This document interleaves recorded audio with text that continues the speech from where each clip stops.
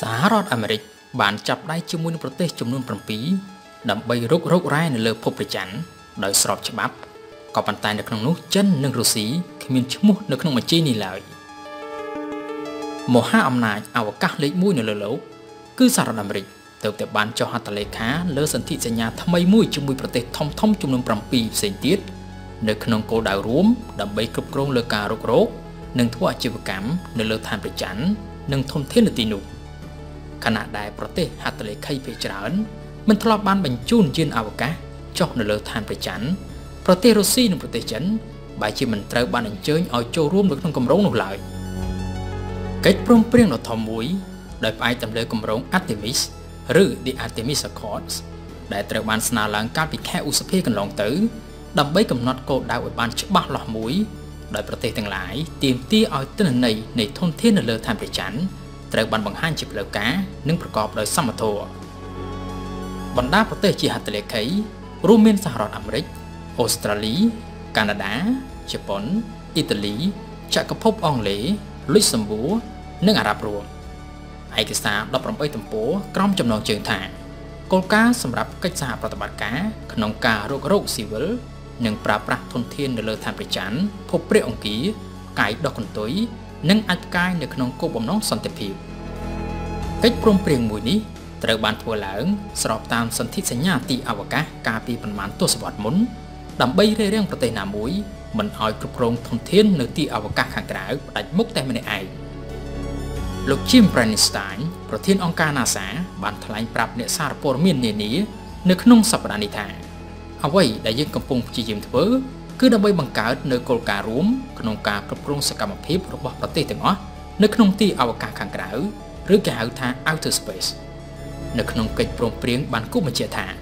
ប្រទេសជាហត្ថលេខីទាំងអស់យល់ព្រមចែករំលែករាល់ព័ត៌មានវិទ្យាសាស្ត្រដែលពួកគេទទួលបានពីការងាររបស់ពួកគេនៅលើឋានព្រះច័ន្ទ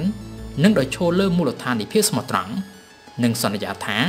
នឹងផ្ដល់ជំនួយដល់ប្រទេសហត្ថលេខីផ្សេងទៀតនៅក្នុងគ្រោះថ្នាក់ផ្សេងៗដែលអាចកើតឡើង ស្របពេលជាមួយគ្នានេះដែរប្រទេសហត្ថលេខីក៏បានសន្យាទៀតថានឹងជូនដំណឹងដល់អគ្គលេខាធិការអង្គការសហប្រជាជាតិមុនពេលពួកគេចាប់ផ្ដើមខួងរោគធនធានរ៉ែនៅលើឋានព្រះច័ន្ទប៉ុន្តែមិនទាន់ដឹងច្បាស់ទេថាតើត្រូវអនុវត្តយ៉ាងណាឬនៅពេលណាឲ្យប្រកាសនោះទីភ្នាក់ងារ NASA បានបញ្ជាក់ប្រាប់ក្រុមអ្នកសារព័ត៌មានកាលពីថ្ងៃអង្គារកន្លងទៅថាប្រទេសជាច្រើនទៀតនឹងចូលរួមនៅក្នុងកិច្ចព្រមព្រៀង Artemis នៅដំណាច់ឆ្នាំ2020នេះ នឹងបានបង្ហើបប្រាប់ទៀតថាកិច្ចព្រមព្រៀងនេះមិនមែនជាកិច្ចព្រមព្រៀងអចិន្ត្រៃយ៍នោះឡើយពាក់ព័ន្ធទៅនឹងបញ្ហានេះប្រធានកម្មវិធីអវកាស Roscosmo របស់ប្រទេសរុស្ស៊ីគឺលោក Dmitry Rogozin បានបង្ហាញពីកង្វល់ផ្ទាល់ខ្លួន កាលពីដើមសប្តាហ៍នេះលោក Rogozin បានចាត់ទុកកិច្ចព្រមព្រៀង Artemis ថាមានលក្ខណៈលំអៀងតាមអាមេរិកខ្លាំងពេកគួរបញ្ជាក់ផងដែរថាលោករ៉ូកូស៊ីនធ្លាប់បានពន្ធនាគម្រោងខាងលើ ថាជាការលុកលុយលើថែមព្រះច័ន្ទព្រមទាំងបានសម្ដែងការមិនពេញចិត្តម្ដងហើយម្ដងទៀតចំពោះនយោបាយនៅទីអវកាសរបស់ទីក្រុង Washington ផងដែរពីព្រោះថាក្រមសន្ធិសញ្ញាទីអវកាសខាងក្រៅកាលពីឆ្នាំ1967ឬដែលគេហៅថា Outer Space Treaty បានបញ្ជាក់យ៉ាងច្បាស់ថាធនធាននៅក្នុងទីអវកាសខាងក្រៅមិនមែនជាកម្មសិទ្ធិផ្ដាច់មុខរបស់ប្រទេសណាមួយឡើយប្រធានអង្គការអវកាសរុស្ស៊ីរូបនេះបានបន្ថែមទៀតថាប្រទេសរុស្ស៊ីនឹងមិនផ្ដល់ជំនួយបច្ចេកទេសអវកាសរបស់ខ្លួន ដល់គម្រោងដ៏ឥតប្រយោជន៍របស់សហរដ្ឋអាមេរិកនេះឡើយគូបញ្ជាក់ដែរថាតាំងពីយូរយារណាស់មកហើយសហរដ្ឋអាមេរិកបានពឹងផ្អែកទៅលើធម្មពលរ៉ុកែតរបស់ទីក្រុងមូស្គូដើម្បីដឹកជញ្ជូនអវកាសយានិកអាមេរិកទៅកាន់ទីអវកាសចំណែកឯប្រទេសចិនវិញក៏មានសមត្ថភាពមិនធម្មតាដែរជាស្ដែងប្រទេសចិនបានបង្កការភៀសផ្អើលដល់ពិភពលោកយ៉ាងខ្លាំងនៅពេលដែលយានអវកាសរបស់ខ្លួនដែលមានឈ្មោះថា U22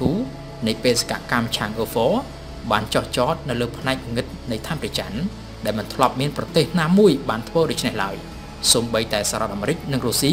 ដែលមានបច្ចេកវិទ្យាអវកាសដ៏ទំនើបនិងបាននាំមុខចិនរាប់ទសវត្សរ៍មកហើយនោះក៏មិនអាចធ្វើបានដែរជារួមមកវិញសន្ធិសញ្ញាក្រោមការដឹកនាំរបស់មហាអំណាចអាមេរិកមួយនេះគឺបានបញ្ជាក់ឲ្យយើងឃើញថាប្រទេសនៅលើផែនដីកំពុងតែធ្វើការឈ្លានពាននៅក្នុងទីអវកាសខាងក្រៅជាបណ្ដាបណ្ដាហើយ